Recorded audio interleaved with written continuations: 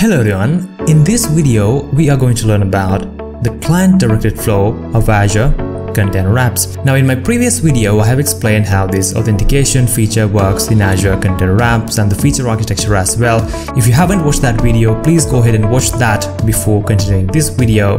Now in this video I'm going to first explain how this flow works architecturally and after that I'm going to show you how to authenticate, how to secure your API using the client directed flow.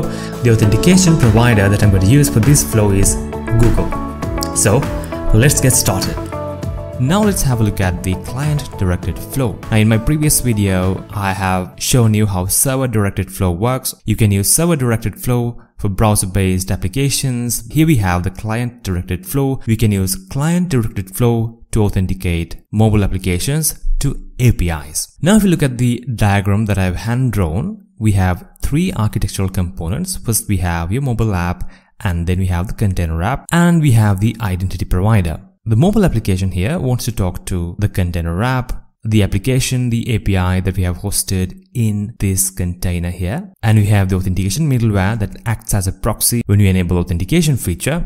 Now, for this mobile application to talk to this container app, the mobile application has to follow three-step process. First, it has to actually get the token from the identity provider. This could be Google or Twitter, could be Microsoft Azure Active Directory. First, it has to get the access token from this provider. It has to manage the flow unlike in server directed flow. After getting the access token, the mobile app should submit that access token to the container app. The container app then validates the token because it has the client secret and all the other configurations required for it to validate the token. It gives a response back to the mobile application and that response contains an access token. With that access token, you can access your API. Alright, now this is the high level architecture of this flow. Let's have a more deeper understanding of these steps. Now this is the step 1, acquiring the access token. For the demo in this video, I'm going to use Google and here your mobile application has to implement the whole auth flow to get the access token. Now this is the flow that I'm following in this video OAuth 2 for mobile and desktop apps. Now this is basically the authorization code flow with proof key for code exchange or PKC as you can see here. This is the flow that I'm using. You can look into this later if you want to learn more about this but that is not the goal of this video. So let me go back you need to follow the standard auth flow to acquire access token in client directed flow. And after acquiring this access token, we have the step 2 and in step 2 we are passing, we are submitting that token to Azure Container Apps. And this is how you do it. We have to send a post request to this endpoint here. We have auth, login and the name of the provider. In this case, it's Google. The content type is application JSON and we are passing in this token here. We have the ID token and the access token that we got from Google. And as a response to this request, we're getting the access token from the Container Apps Authentication middleware. And the third step is actually accessing the resources. So basically, as I've shown here, we can send a get request and this should be basically the host of the container app and then we have the HTTP path of the API. We need to pass in this header here, X-ZUMO-AUTH, and this should contain the authentication token that we have received from this authentication middleware. Now, if we go back to the previous slide, and this is the response that we received from the authentication middleware, we should use this token here as a header of the actual access request. Now that we understand how this flow works, let's actually do this using a sample application. This is the simple ASP.NET application that I have used in my previous video as well. As you can see, it has this simple ASP.NET uh, API controller. And when I send a GET request to it, it just returns the list of headers this request receives. I'm doing this because this is valuable for us to understand what goes on when we send these headers to our middleware and what our middleware sends to the actual application. And I have already published this using this script here. You can find this script down below if you want to try this out. Now let me go into Azure portal. As you can see, I'm in that resource group and we have the auth demo app. If I click on this URL here, as you can see, I can access the application, but now we are looking at APIs. So let me call the API slash values endpoint. As you can see, I'm getting the headers of the request. Now let me go back into authentication of Azure Container App. And now I'm going to add Google as the identity provider. I'm going to select Google here Alright, now let me add the client ID and the client secret. Now here, I'm going to go with require authentication. I'm not going to allow any unauthenticated requests to access the API. And for unauthenticated requests, I'm going to redirect the user to the recommended websites. In this case, it's Google. And next we have to set the scopes. We cannot set scopes for Google in this portal.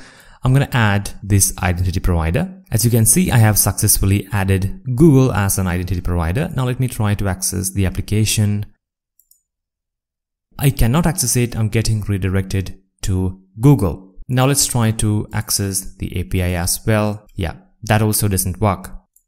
And now it's time for us to perform the first step of our client directed flow. For that, I'm going to use Postman. I'm going to use this authorization step here to get the bearer token from Google. It's OAuth2 now if I scroll down, I have already added some uh, configuration that we need to get the access token. And as I said, we are going with this PKCE flow to get the access token. I have added this callback URL. This is the application that I have registered in Google Developer Console and as you can see here I have added the same here as well. Now let me go back into Postman and we have the auth URL and we have the access token URL as well and we have my client ID and the client secret that I've got from Google Developer Console and the code challenge method is SHA-256 and these are the scopes that I need now it's time for us to get the access token. For that, I'm going to click on this button. Postman opens up this browser window and it orchestrates the whole auth flow. Since I have already logged into it, it just shows my username and email. I'm going to click on it. Now Google is asking me whether I want to give access to this app.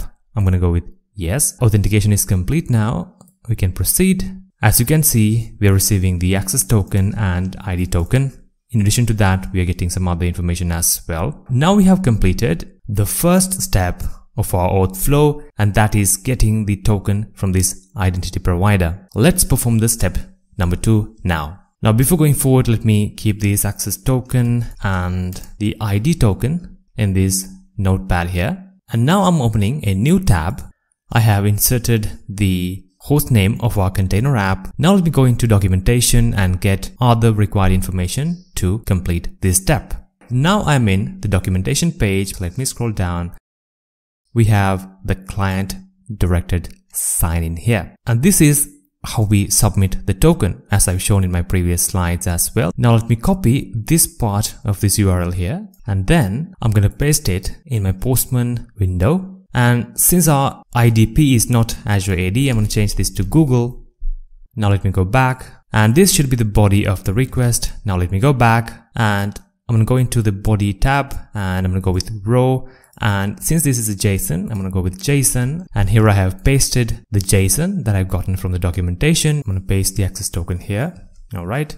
And then I'm going to paste the ID token in this. And now send a post request to this endpoint. Let's do it now. As you can see, we have gotten this 200 response and we have received the access token from Container Apps Authentication Middleware.